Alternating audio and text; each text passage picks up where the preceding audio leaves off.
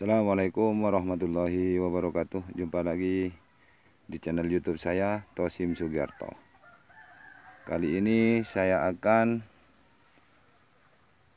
mereview bahan bonsai anting putri dan memupuknya. Ini adalah bahan bonsai anting putri orsinil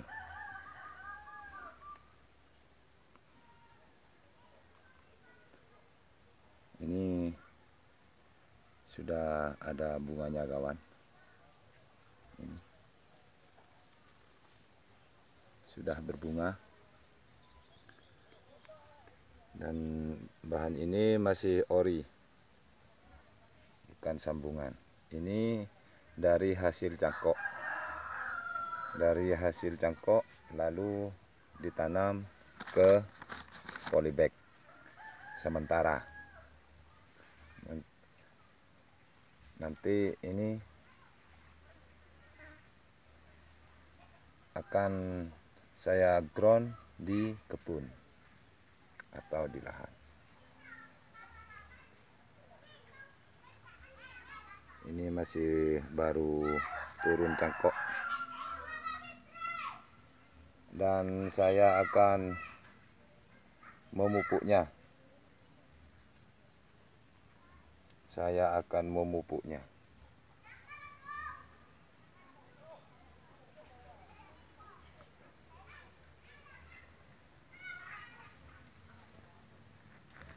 Sebab ini belum pernah dipupuk sama sekali mulai dari turun cangkok. Dan sekarang waktunya untuk memupuk supaya cepat pertumbuhannya.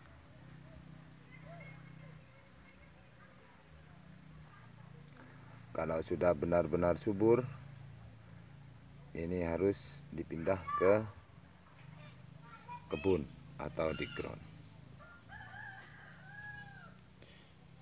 Ini adalah pupuknya kawan. Pupuk kohe.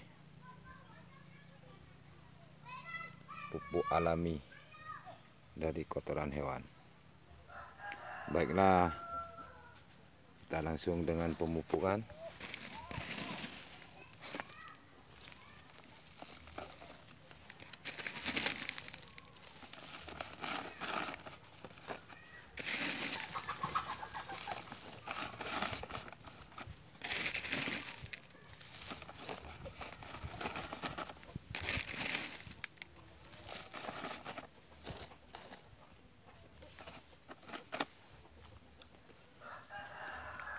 tinggal yang ini.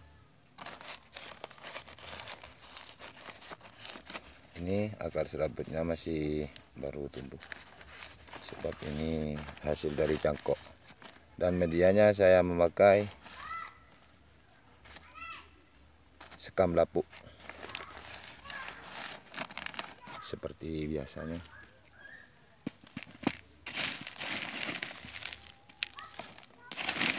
dan pupuk ini sangatlah bagus dan gampang ditemukan.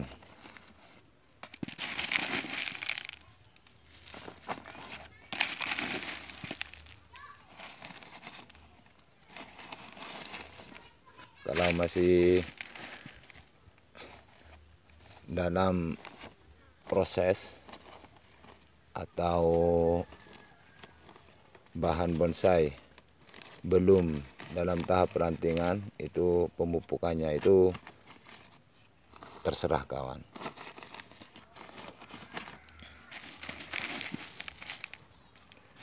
Yang penting subur dulu.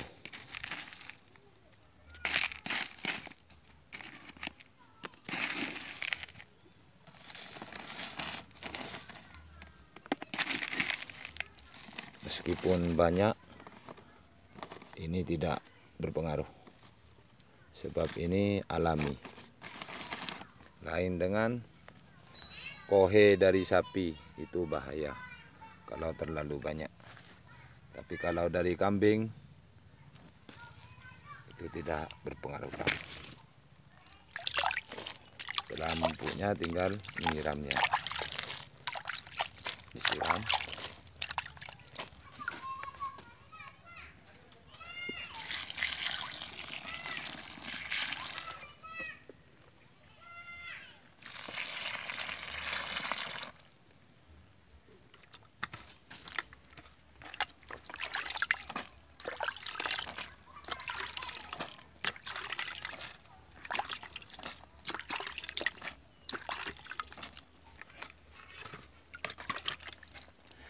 Baiklah kawan.